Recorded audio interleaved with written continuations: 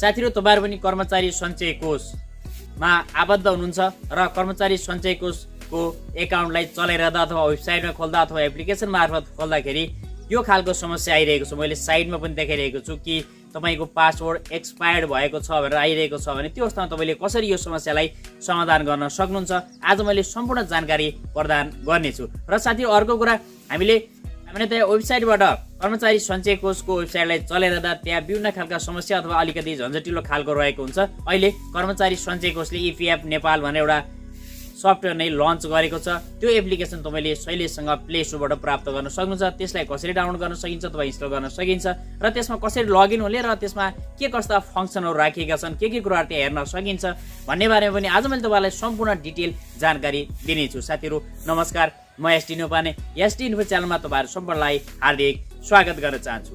साथीहरू ढिला नगरिकन लागु प्र्याक्टिकली रूपमै मोबाइल स्क्रिनतर्फ र साथीहरू मोबाइल स्क्रिनतर्फ लाग्नुभन्दा पहिले भिडियोलाई लाइक गरौँला यदि च्यानलमा नयाँ हुनुहुन्छ भने च्यानललाई सब्सक्राइब गर्न नबिर्सनुहोला। साथै मसँग पर्सनल रूपमा जोडिन चाहनुहुन्छ भने मेरो फेसबुक पेज मेरो इन्स्टाग्राम आइडीलाई फलो गर्न नबिर्सनुहोला। मैले लिङ्क च्यानलको एबाउट सेक्सनमा राखिदिएको छु।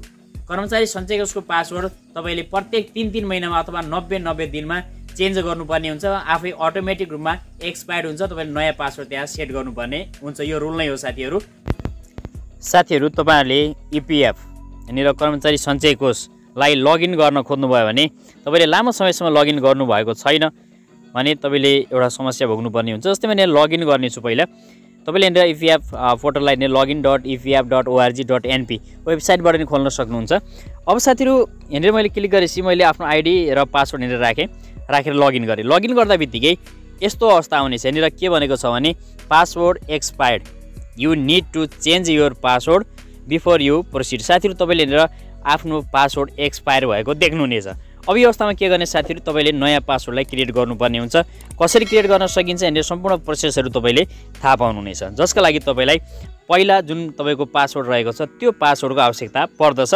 ओल्ड पासवर्ड भनेको छ साथीहरू यहाँनिर ओल्ड पासवर्ड भनेको ठाउँमा तपाईँले आफ्नो पुरानो जुन पासवर्ड रहेको छ जुन पासवर्ड एक्सपायर्ड भएको छ त्यो पासवर्डलाई राख्नुपर्ने हुन्छ। र त्यसपछि नयाँ पासवर्ड यहाँनिर राख्नुहोला। र यहाँनिर कन्फर्म न्यू पासवर्डमा तपाईँले पुनः नयाँ पासवर्ड राख्नुपर्ने हुन्छ। पासवर्ड राख्दाखेरि कसरी राख्ने भन्ने कुरा पनि मैले यहाँ सिकाउने छु जसमा तपाईँले अल्फाबेट त्यसपछि क्यापिटल त्यसपछि कुनै पनि एउटा सिम्बल एट द रेट अथवा कुनै पनि एउटा सिम्बल र त्यसपछि अङ्कहरू सेट गर्नुपर्ने हुन्छ। मैले यहाँ राखेर देखाउने छु। जस्तो साथी यहाँ राख्दाखेरि तपाईँले के गर्नु होला भने सबैभन्दा पहिला क्यापिटलहरू जस्तो मैले याद यहाँनिर क्यापिटल राखेँ त्यसपछि कुनै पनि दुईवटा तिनवटासम्म तपाईँले राख्न सक्नुहुन्छ अल्फाबेटलाई। त्यस साथीहरू यहाँनिर एउटा तपाईँले सिम्बल राख्नुपर्ने हुन्छ। सिम्बलमा एट द रेट अथवा अन्य कुनै पनि सिम्बल यहाँबाट राख्न सक्नुहुन्छ। अन्डर स्कोर अथवा कुनै पनि। मैले एट द रेट राख्छु। त्यसै तपाईँले यहाँनिर अङ्क राख्नुपर्ने हुन्छ। अब यसरी राख्दा के हुन्छ भने साथीहरू कम्ती भने आठ अङ्क तपाईँले मिनिमम राख्नुभयो भने त्यो चाहिँ यहाँनिर एक्सेप्टेड हुनेछ। अब साथीहरू पुनः त्यही पासवर्डलाई यहाँनिर तल कन्फर्म पासवर्डमा पनि सेम त्यही पासवर्ड यहाँनिर राखिदिनु होला।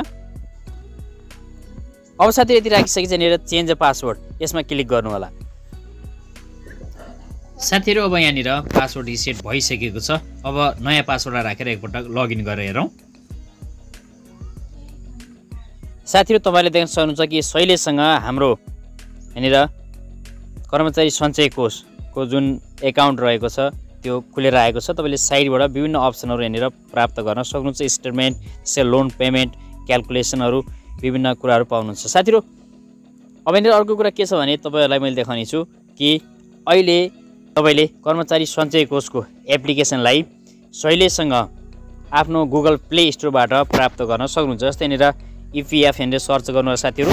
सर्च गर्दा बित्तिकै तपाईँले यहाँनिर देख्नुहुनेछ इपिएफ मोबाइल एप। साथीहरू यहाँनिर आएको छ इपिएफ मोबाइल एप। साथीहरू कर्मचारी सञ्चय कोष।